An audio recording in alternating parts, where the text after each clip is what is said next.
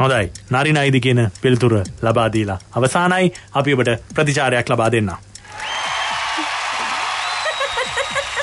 ඒගැන උත්තරේ ශුවර්ම නැහැ.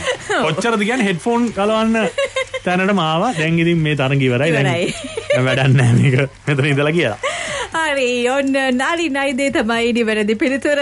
අපි අනවහෙනං විසිවැනි ප්‍රශ්නයට ඒ කියන්නේ අවසාන් ප්‍රශ්නයට. ඔන්න ඉතින් රුපියල් ලක්ෂේ ඒ විදිහටම තියෙනවා මේ ප්‍රශ්නටත් නිවැරදි පිළිතුරු ලබා දුන්නත් සංජානී රුපියල් ලක්ෂයක් ජයග්‍රහණය කරනවා. තීරණ ගැනීමට ඇති බිය ඔබව ආපසු හරවයි. තීරණ ගැනීමට ඇති බිය ඔබව ආපසු හරවයි.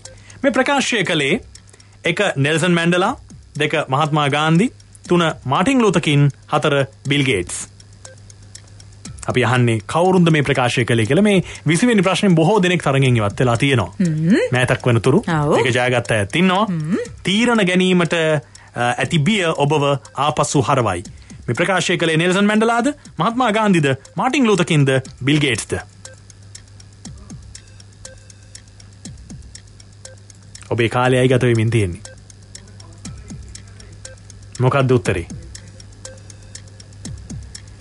කල්පනා කරන කල්පනා. කර හරි. කාලය නං දැන් අවසන්. ඔබේ උත්තරේ? Nelson Mandela. නෙල්සන් මැන්ඩලා කියන උත්තරෙයි ලබා දෙන්නේ හිතුව බයට අනිතුත්තරේ තෝරගනීද දන්න රුපියල් ලක්ෂයක් අද දවසේදී ජයග්‍රහණයට හිමිකම් කියනවා තීරණ ගැනීමට ඇති බිය ඔබව ආපස්සු හරවයි මේ ප්‍රකාශය නෙල්සන් මැන්ඩලාගේ ප්‍රකාශයක් හැටියටයි ඉතිහාස ගත වෙලා තියෙන්නේ.